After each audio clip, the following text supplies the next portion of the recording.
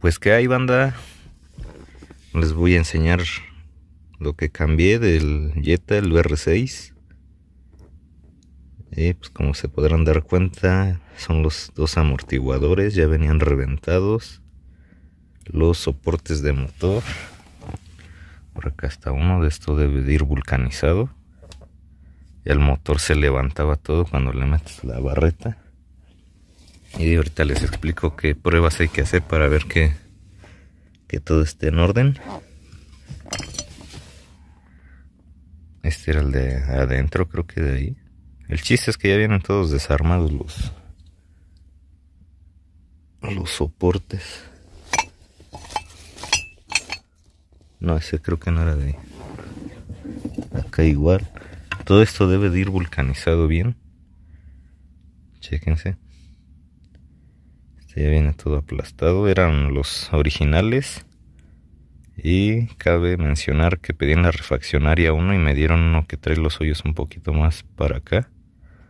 Y pues no dieron y otros 700 pesos a la basura. Ahí si alguien quiere ese soporte está nuevo, es marca Smith. Ahorita se los muestro en el video. Creo que es para 2.0. Ahí va, apenas soportes. El hueso de abajo ya lo guardé. Las dos violetas ya venían bien jodidas. No debe de hacer esto. Tiene que venir firme. Ambas. Aprovechando también rótulas. Estas también ya se mueven. No, debería de poder hacer eso con la mano. Y va una está la otra violeta. Este está un poquito más firme, pero aún así tiene movimiento. Este al levantarlo y hacer la dirección así, se movía así. Tenía juego.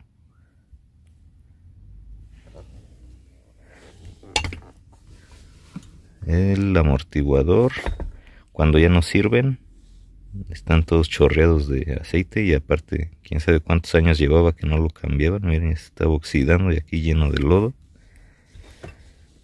Chequen con mi mano sin hacer fuerza ya, ya no servían. Es más, ni para levantar su propio peso se aguanta. Y este está más chorreado que el otro.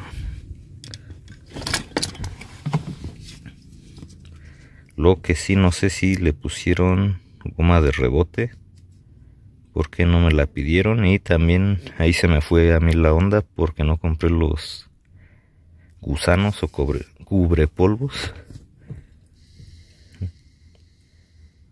se, oye literal como si estuviera ponchado.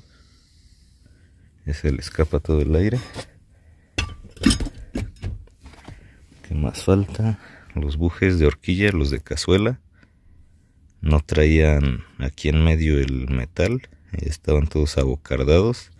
La horquilla se hacía así cuando le movías la llanta con las manos. Terminal de dirección. Estas venían las dos con las violetas juntas y no se me hizo tan caro, creo que fueron como 190 cada lado con su terminal terminal y violeta junta. Y falta otra rótula pero esa quién sabe dónde ande. Y lo manejé a 100 ah, acá están. Estas ya estaban todas aplastadas chequen.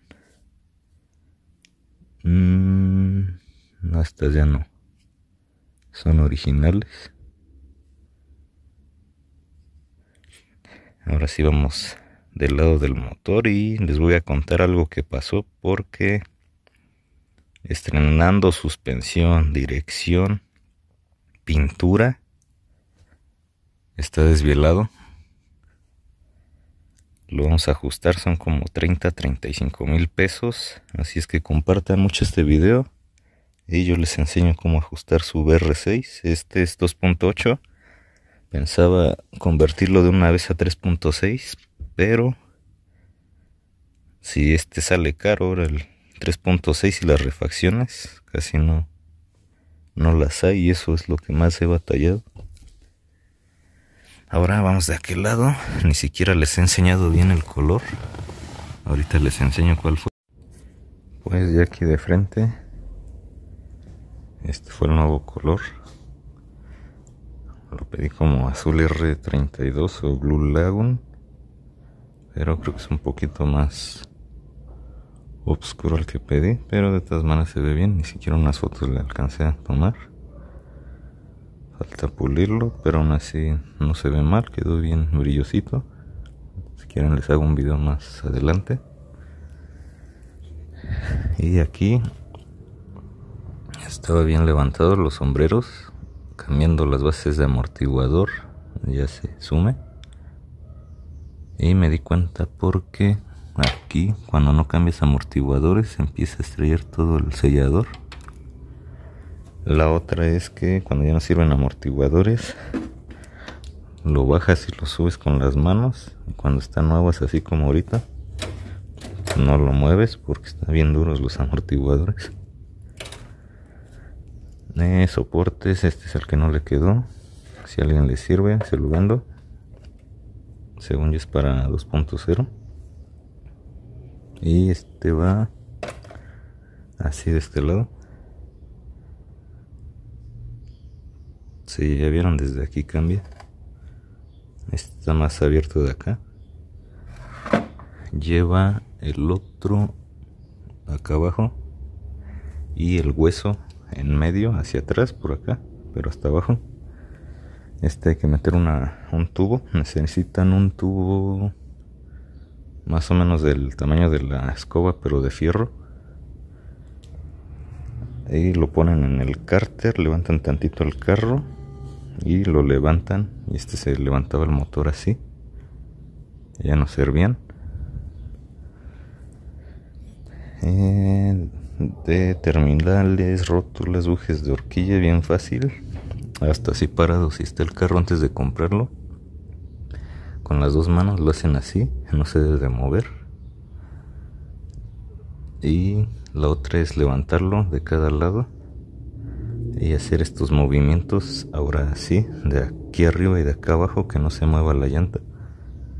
Y pues ya estaba bien jodido mi carro, se hacía así y así y cuando lo levantamos de este lado la llanta de aquel lado se quedó así quieta y se hizo así solita se abrió un montón.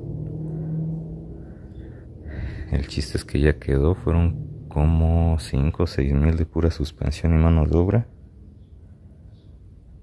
Y se le salió el tornillo el de la horquilla. Ese que va por ahí se ve pero no lo enfoca ese se zafó la la horquilla hacia acá. Lo bueno que fue llegando a mi casa. Ya nomás lo metí lo estacioné. Y cuando lo corrí a 130 140 ah porque también alinearon llantas ya no sé así así vibraba el volante y se manejaba muy bien parecía que ibas a 80 ya no lo quise correr más, lo bueno. Y eso que no sabía lo del tornillo que se le había caído, quién sabe desde cuándo. Y por lo que lo metí al taller fue según nada más alineación, balanceo y cambio de amortiguadores. No sabía que todas esas piezas iban a estar dañadas. Este amortiguador, rótulas, bujes de horquilla, violetas, terminales.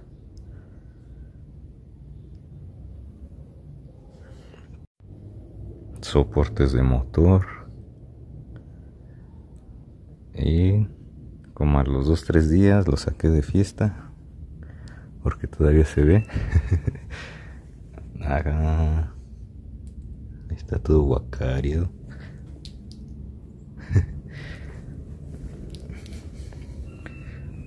y de este lado más Ni siquiera lo he lavado, así lo arrumbé. Porque llegando de la fiesta ya el otro día no arrancó. Se venía calentando, pero se me di cuenta. venía rellenando el depósito puse los ventiladores directos y ni así venía echando humo el, el motor para mí que falló la bomba de aceite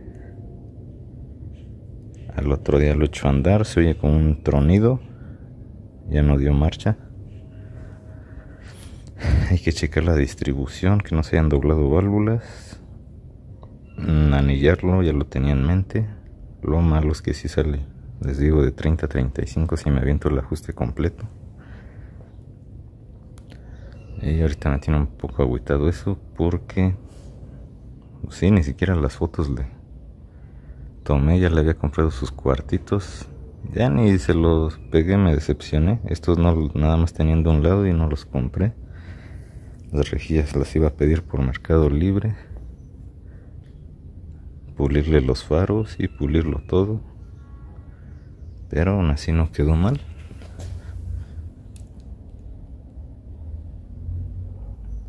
Ahí está.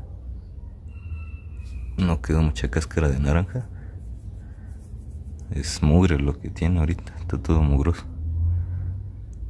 Ah y aquí cuando llegué a mi casa se se acabó casi la fascia. Igual ahí tiene un golpe. Como la llanta se recorrió todo hacia adelante y hacia atrás. Lo bueno que, tenemos un ángel guardián porque a 130 140 que se te zafe una horquilla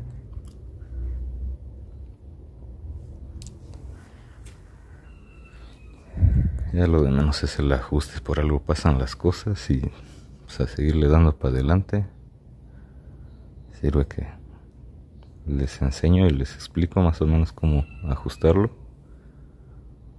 pues suscríbanse, dejen su like, activen la campanilla de notificaciones y nos vemos en la próxima.